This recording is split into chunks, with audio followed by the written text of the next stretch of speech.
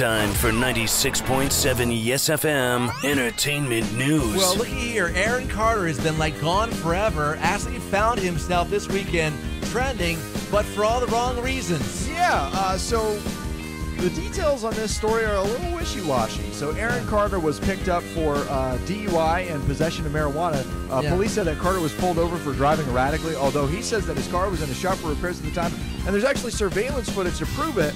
Uh, Carter also said that cops targeted him because of his celebrity, and that he has a medical marijuana license because uh, of his anxiety. So several days earlier, this is kind of ironic, he bragged online, "You won't catch me getting any DUIs." Now his family reached out to him to say, "Hey, listen, we're here for you," but that was on Twitter, and he was like, "If my family really cared about me, wouldn't they just call instead of making it public?" You'd think, of course, his brother is Nick, who was a Backstreet Boy. So, uh, I don't know. All right, we talked about Mel B, this whole divorce that kind of turned nasty.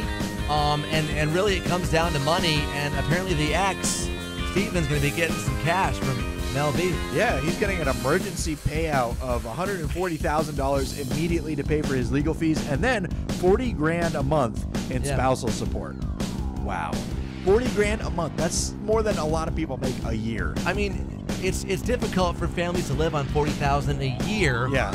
Try doing forty thousand a month. Oh I my think, god, how's he going to live? I mean, I think eventually you run out of things to buy.